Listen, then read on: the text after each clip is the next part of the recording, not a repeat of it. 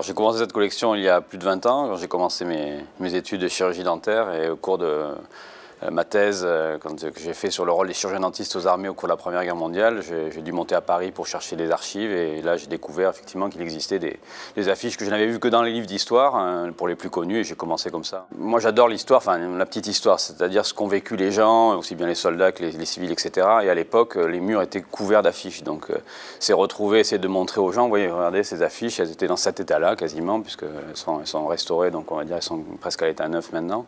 Et c'était la vie de tous les jours, les gens étaient confrontés à ces images tout au long de la journée, que ce soit Première, Deuxième Guerre mondiale.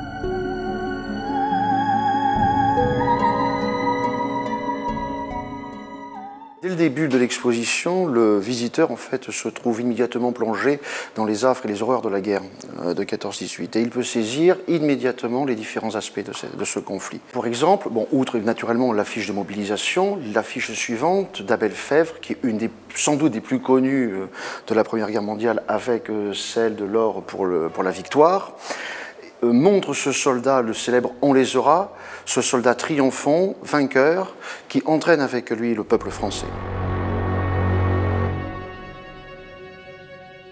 Nous sommes devant une série d'affiches euh, de soutien aux poilus, soutien aux soldats, en plus avec des, affichistes qui étaient très connus à l'époque. Hein. Nous avons euh, Poulbeau, Steinlen, Lucien Jonas, Maurice Nemont et encore Lucien Jonas, donc euh, des, affiches, euh, affichistes de l'époque qui faisaient de la publicité, euh, des caricatures, etc. Donc des artistes de renom. Un thème qu'on retrouve assez, fréquemment dans toutes les affiches, c'est le, thème de la terre. Hein, l'armée française est une armée de paysans. Et, donc souvent, on voit, voilà, quand l'affiche traite de l'économie, c'est voilà, semer vos pommes de terre, euh, économiser euh, l'eau, le gaz, l'électricité, tout ce qu'il faut. Voilà, c'est euh, ou le, combattant qui va revenir. on voit une paysanne devant des, champs labourés, etc. Voilà, tout. on glorifie cette, France éternelle, donc avec qui est avant tout effectivement une, armée paysanne qui est très très rurale à l'époque. Aucune inclusion de photos, on n'est que sur, vraiment que sur du dessin et toujours une posture héroïque du soldat souvent.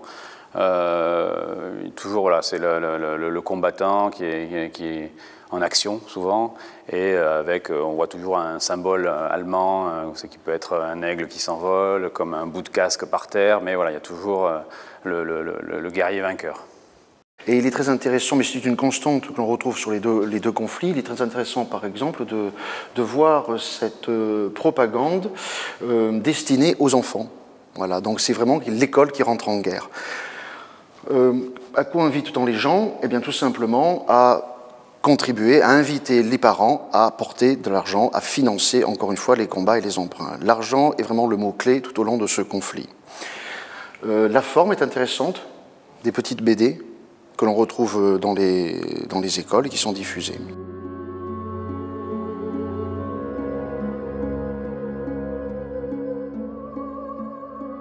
Techniquement, on voit apparaître entre, euh, entre, 39, 14-18 et 39-45, par exemple, l'arrivée la, la, du photomontage, de la photographie, du film. Euh, de la radio, évidemment. Alors ici, au centre Jean Moulin, euh, Christian Bloch a mis à disposition quelques objets qui, qui, évoquent tous ces supports de la propagande. Sinon, les thèmes, généralement, sont les mêmes entre les deux conflits. C'est-à-dire qu'on va jouer, euh, bon, d'abord l'argent est le nerf de la guerre. Alors vraiment, 14-18 fait appel au financement. Euh, on joue aussi sur la sensibilité, on joue aussi, on tente de parfois culpabiliser le, le, citoyen. Euh, on va jouer sur la fibre sentimentale, par exemple, nombreux poilus sont évoqués avec la famille, la femme qui les attend, euh, la petite fille dans les, dans les bras ou qui, va jouer avec une petite poupée qui bien sûr représente l'Alsace ou la Lorraine. Alors cette affiche, elle date de 1943, donc Castel. Alors elle a le, visa ORAF, qui est le visa allemand, parce qu'en fait, c'est l'allemand qui, décidait euh, laquelle affiche pouvait être mise en place. Donc, il n'y a plus trop de différence entre euh, Vichy et puis l'État français, etc. Hein. tout, est, tout est contrôlé par les Allemands. Et donc, elle exploite avec des, chiffres de, blessés, de, destruction, etc. Sur les bombardements euh, anglo-américains, ils mettent américains, mais qui, avaient lieu sur la France, pour préparer effectivement le, le débarquement, le futur débarquement. Et donc, donc cette, affiche appuie sur le fait, regardez, il y a des morts, des blessés, des destructions, mais il ne se passe rien, ils restent chez eux, ils ne font que passer, bombarder. Donc voilà, c'est pour appuyer sur ce côté un peu lâche du bombardement lointain. La spécificité par contre de, 39-45, c'est encore une fois euh, ce retour dont je vous parlais à l'anti-France, à la Révolution nationale, la promotion de la Révolution nationale, euh, avec des affiches là vraiment qui sont parfois extrêmement virulentes, ce qu'on ne trouve pas euh, en 14-18.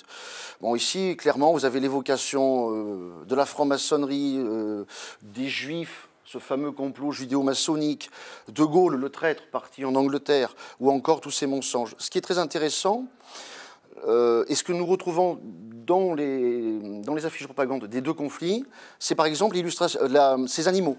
Alors on va assimiler, euh, la, propagande obéit à des codes très précis, on va assimiler euh, euh, les ennemis que l'on veut désigner à des animaux qu'en principe qui effraient. je pense par exemple aux, juifs qui sont généralement assimilés au rat ou à la vermine. Voilà. Ce sont ainsi des codes que l'on va, retrouver. le texte disparaît tout de même de plus en plus au profit d'images fortes, avec donc des textes courts, puissant qui invite la population donc soit à jouer, enfin on essaie de jouer sur les émotions.